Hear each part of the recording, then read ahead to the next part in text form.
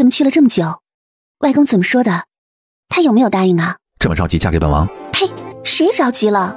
我是怕你这能让小儿啼哭的名声说要娶我后，会让外公生气。老爷子是挺生气的，还险些将本王撵出府去。真的？怎么回事？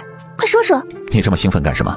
本王被撵出去，你很高兴？君九渊睨了眼云素音，见他没良心的弯着眼，半点不为婚事操心，他忍不住伸手将人扯进怀里，朝着他脸上轻咬了一口。哎，你干嘛？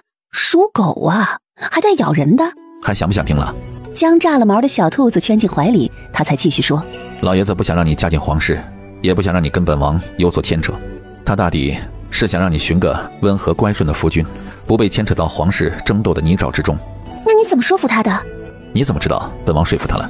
云素音翻了个白眼儿，要不是说服了林老爷子，君九渊也不会这般轻松。本王告诉老爷子，你觊觎本王美色，要了本王的身子，本王已经是你的人了，你只能嫁给本王了。君九渊，我我咬死你！说，你到底跟外公说了什么？就说你喜欢本王。你又胡说！哪里胡说？难道你没觊觎本王的身子，垂涎本王的美色？锁骨上突然一疼，他腰间用力翻身而起，直接将人压了下去。你，你干什么？你说呢？细密的吻来的猝不及防，云素音整个人都有些发软，脑子里更是晕晕乎乎，下意识的伸手想要攀着男人肩头反击时，却骤然听到耳边传来一声低笑。下一瞬，体内那股子熟悉的气息传来时，眼前的一切骤然变大。云素音伸着爪爪。啪叽一下落在了榻上，金九渊擦了擦指尖挂着的血，那满是色气的模样，让他血团子不争气的咽了咽口水，下一瞬像是察觉到了危险，转身就跑。往哪儿跑？雪团子拼命蹬着爪爪，仰躺着露出白嫩嫩的肚皮，四脚朝天的对着那双满是浓墨的黑眸时，满是愤愤。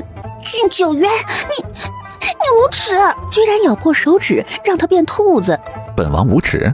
君九渊嘴角轻扬，微凉的手指在那粉红色的耳朵上游走时，原本张牙舞爪的云素音瞬间软了身子，一股股战力顺着尾椎骨朝上涌来时，那红彤彤的眼睛里瞬间就弥漫上了雾气。别，耳朵被揉捏，那大手在身上撸过，舒服的他恨不得躺平在他的掌心里。